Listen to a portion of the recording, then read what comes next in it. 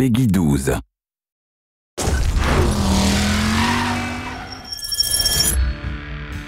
Driver multiplayer is unlike any online driving game you've ever played before. In fact, it's unlike any online game you've played before. And the shift brings with it chaos and unpredictability to the excitement of driving games. The game has been designed with uh, online in mind right from the start.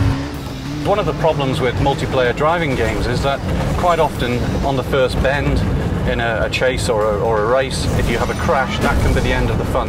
But with Shift, what you can do is instantly shift into another car in the traffic and get back in the action, so you're never left behind. Everything can just turn on a dime right at the end of the race or chase or whatever mode that you're playing. Everybody's got shift, right? So you're driving along, you've got your objective in the traffic, you see a bolt of light, and this car suddenly becomes an enemy and it's ramming you and smashing into you. And you can do the same to him.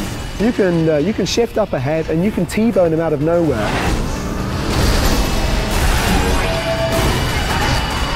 Have 11 modes for the online element. We have a mixture of cooperative, team-based uh, games and also adversarial games as well. And they range from the usual online games, races, tag, but also some interesting base defense games as well.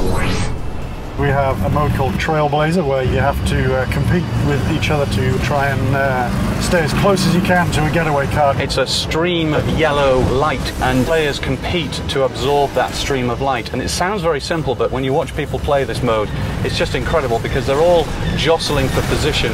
We took some inspiration from other uh, genre of video game like FPS. So we have a capture the flag, where obviously you have to find a flag and carry it to your base.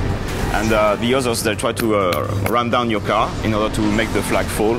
Then you can uh, grab it and bring it to your base. Shift is also a little bit different in online multiplayer. It has three functions. One of those is car spawn, which just spawns a car on the uh, on the spot. You can also transform a car from one car into another car. So say you end up in a, a slow vehicle like a bus, you can very quickly transform that into a much quicker car. And the third thing that we have is the impulse, and that allows you to apply a kick to someone else's car. So say for example they're chasing after your friend, and apply an impulse to them and it will give them uh, a kick and so suddenly they'll find themselves driving sideways or backwards. Even though we've been designing this game for as long as we have, even though we've had multiplayer up and running for as long as we have, it's still something that gets people in the studio laughing and enjoying playing it. Once you get a bunch of friends together, all competing with the, the shift ability and stealing cars off each other, it gets quite heated at times.